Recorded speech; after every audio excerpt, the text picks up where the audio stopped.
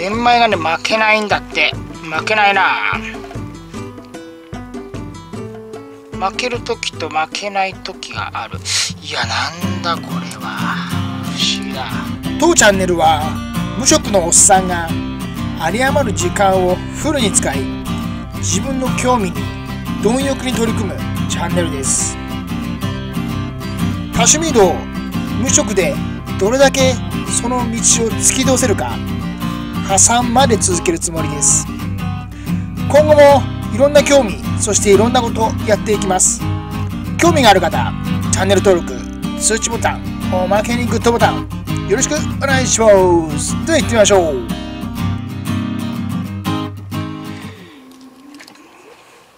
ゼンマイがね負けないんだって。負けないな。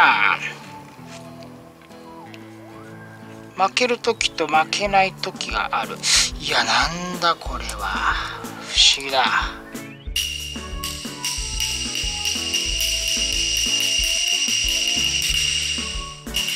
またまた不思議な症状です。早速開けてみ。硬いな硬くなってる。大丈夫だ。いけた。早速やってみよう。はいし。ではどういう状況か見ていきましょう。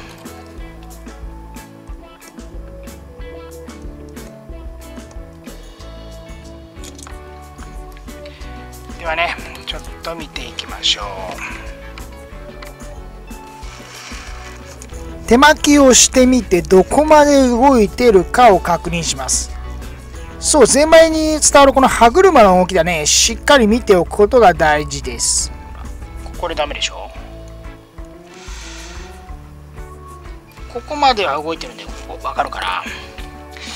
切り替え車洗ってみるか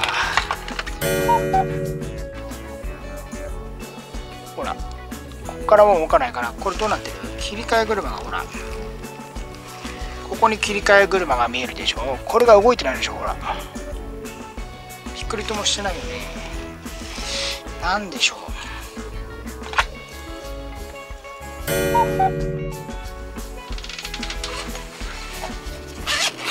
表の受けだけ外します。それで様子見ましょう。まず最初にこれを外します。えっ、ー、とクラッチのバネだね。そしたらこれがクロノグラフハンマーのバネを外しますと。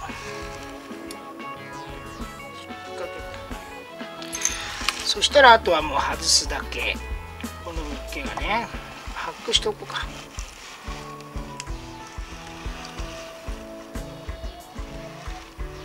あーなんかゴミがほら。なんかゴミがはまってるね。なんだこれは。ゴミだな。なんだこれ。ゴミが黒くなって固まってるところがあるんだよね。ゴミが噛んでるここゴミがすごいんだがなんだうんそしてその下の歯車あそこにもゴミそして黒いのここ。その下の歯車黒いんだよねあらと思ってなんでございましょう。よくわからない。とりあえずねこの黒いのを取って除去してみます。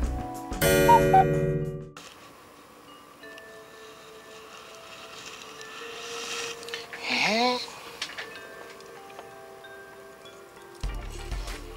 欠けてる。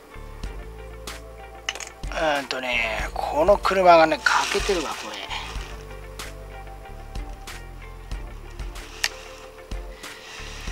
けてるな。これは痛いな。ってことはこれも欠けてんじゃない？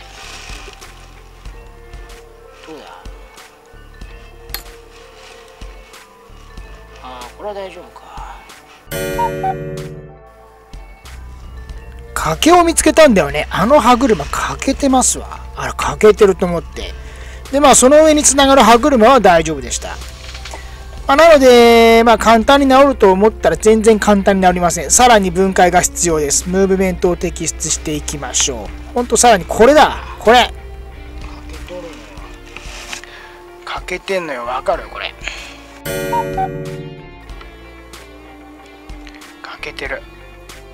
そう、まあ、全体的にすり減ってるんだけど、なんか欠けてるところが妙に大きく欠けてるところ数箇所あります。これだなと思ってだから負けなかったんだ。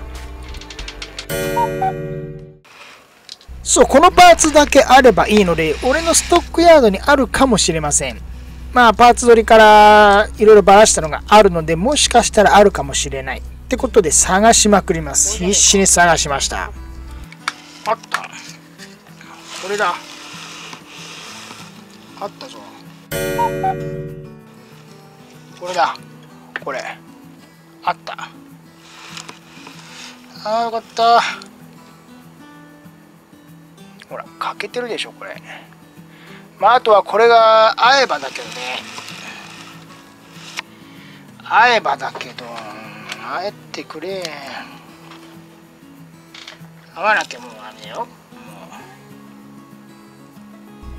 まあこのパーツが合えばいいんですけどおそらくこの今のムーブメントは担当性なんですよ。担当性のムーブメントっぽいです。まあこれがまあ上海製のパーツから取ったものなのか担当性なのかわからないんですよ。定かではないんですがこれがきっちり回ればこれでゼンマイが負けるようになれば OK です。しっかりとね受けを乗せてさあ動くかやってみましょう。これでうまい具合に負ければ OK と。ここの受けはね比較的カウンターに乗ります。本当にスッと乗るだけなので歯車は1つしかないですからね。なのでここの受けはカウンターに乗ります。で巻いてみましょあーいけるかもしんない。スムーズだ。いけるかもしんない。うこの状態では素直に回ったのであとはねえっ、とまたこの2つもう2つの歯車を乗せてうまく噛み合えば成功です。この状態では多分いいので。いけるな。で次なるその歯車を乗せていくんですがその前にここら辺全部組んじゃいます。一気に組んでしまって受けを乗せていきます。まずはねクロノグラフ秒針ですね。クロノグラフ秒針を乗せていきます。このまあクロノグラフ秒針のね針の太さを見ればおそらく担当性でしょう。そうその前にまずこのピニオンですね。ピニオンギアを入れてあげてここは4番車から力を受けるクロノグラフ針を動かすためのあのピニオンギアですね。これでクロノグラフ秒針を入れてそしてその次に乗せるのはクラッチですね。クラッチを乗せていきます。そうそうルビーとかにねあのー、一回これ全部洗いました。ここら辺あのー、すべてね洗浄してありますのでオイルをねあの刺しながら組んでいきます。そうそしたらクラッチを乗せます。クラッチはねピニオンギアに乗るようにしてください。そうこれ。これにうまく乗せてください。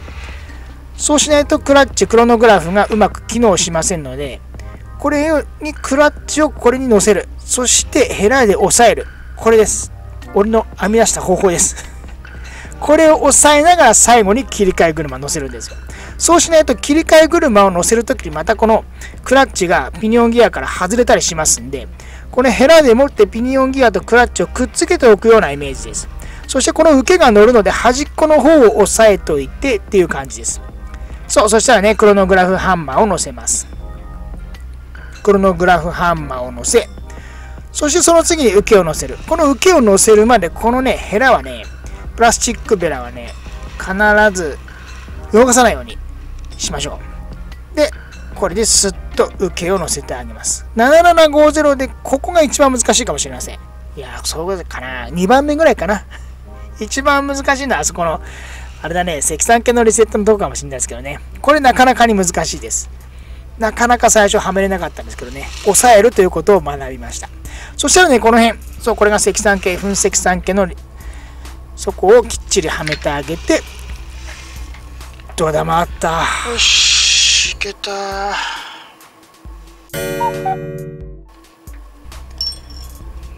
スムーズに回ってますね。もう切り替え車もあの洗浄しときました。だから切り替え車が動かなかったからあそこをこう何ていうのかな切り替え車でうまく力を逃せなくてあそこにストレスが溜まったような感じも見受けられたので一応全部あそこら辺は外したパーツはエンジンで持って洗浄しておきました。そしたらねどんどん組んでいきます。まずはクロノグラフハンマーのバネ。これを組んでいきますよ。そしたらねクラッチのバネも入れてそう完成です。うーんなかなかね大変でしたけど。パーツがあればねあのパーツってパーツだけ売ってるのかな？うんあのパーツがあればまあ、すぐ交換できるんですけどね。なければ、まあ、ムーブメント交換とかになっちゃうんですかね。そう、クロノグラフもきっちり動いてます。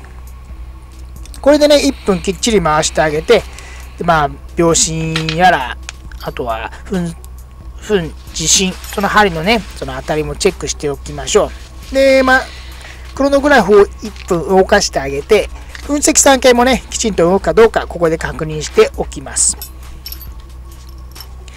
そう、右側にある小さなあの歯車ですね。あれが今回欠けていたパーツです。あれって替えが売ってるのかな？結構ね、あの、見受けられる症状だと思います。以前にも一回交換したことがあるんだよな、俺。うん。だから結構やはり壊れやすいパーツの一つなのかもしれませんね。そう、では、積算計、分積算計が動くかね、そろそろ1分になります。はい、動いたね。OK だ。完璧じゃないですか。これはね、おそらく担当性なんだよね。だからついでにあれしよう。タイムグラファー載せよう。いやーよかった。一旦ではね、タイムグラファー載せてみます。タイムグラファーを載せてって頼まれたので。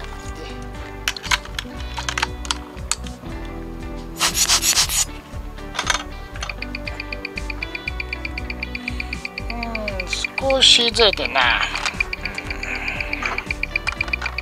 310度もあるしいいな。意外といいと思うよ。1.8だね。だから一旦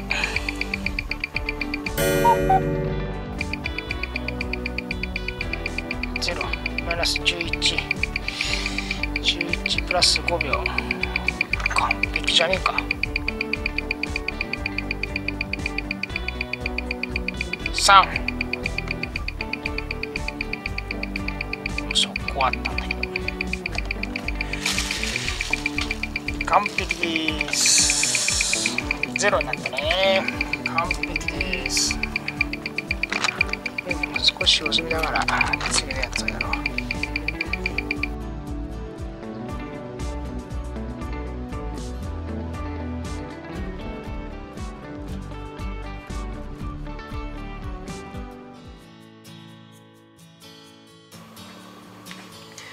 ことでね、今日はデイトナのコピー7750搭載機の、まあ、不具合でした。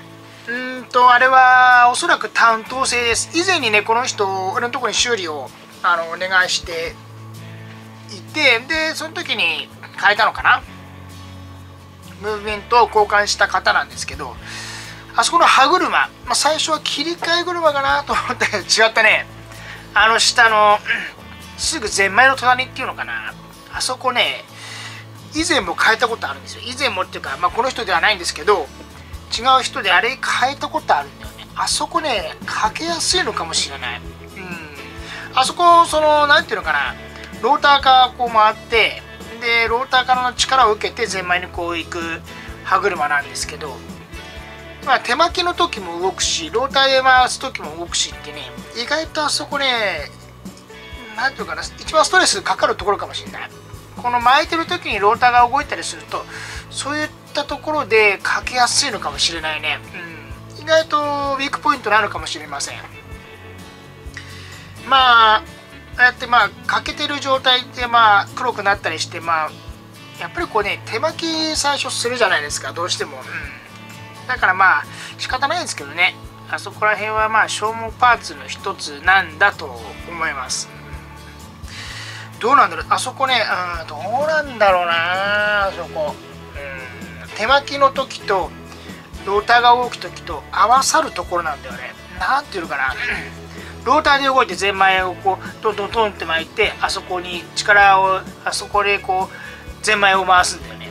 で手巻きの時もあそこで全あそこになんていうのかな。あのあそこも回るんだよ。うんなんていうのかな。手巻きの時はこうゼンマイがこうやってこっち側から力が来るのとローターの場合はこっちから力が来るのっていう感じのイメージです、うん、だからこう合わさるっていうよりもあの手巻きの時もあそこが動くんだよね。あそこが動くんだよ。あの角穴車とつながってるからつながってるっていうか角穴車の隣だからあそこね動くんだよ。その時に多分ローターも動いちゃうと合わさるっていうか力がこうどっちからも来るっていうような感じなのかもしれない。だからまあ壊れやすいっていうかうんなのかもしれないね。だからまあ気をつけるとすればローターを動かさないように慎重 な感じかな。わかんない。違うか。違うか。なんかでもそんな感じがするんだよな。なんかね、あそこここどっちからもこう来るところっていうかな。手巻きの時はあそこ別にその関係ないことなんだけど関係ないというかそのえーとね、手巻きの時は角穴車の下にゼンマイがあるから手巻きの時はあそこはあんま関係ないんだけどその隣にすぐその歯車があるんだよ。で手巻きの時はあそこ動くんだよね、うん、だからこのローターからローターがちょっと動くとそれでちょっとかけやすいのかもしれない。どっちからもこう力が来るからそこでかけやすいのかもしれないね、うん、そんな感じがします。定かではありません。定かではありませんけどね、うん、なので過去に1回あの交換したことあるんですよ。うん。でまああそこだけって売ってんのかな、まあ、今回は本当俺俺のストックヤードからパーツが1個だけありました。いやよかったと思って1個だけありましたいやよかった。まあこうやってパーツがあればねすぐパパパッとこう修理できるんですけどね。いかんせんこう取り寄せとなると1ヶ月はかかるくらいになるからね。ここではねこれで本当にパーツがパッとあればすぐできるのでさ。まあ仕方ないですねこればっかり。ということで、えーと、今回の修理依頼はこのデートのあのあそこはねあの歯車。ゼンマイのカカナ車の隣の歯車。壊れやすいってことでした。かな？かな？ということでいやなんとか直してよかったんですけどね。ご視聴ありがとうございました。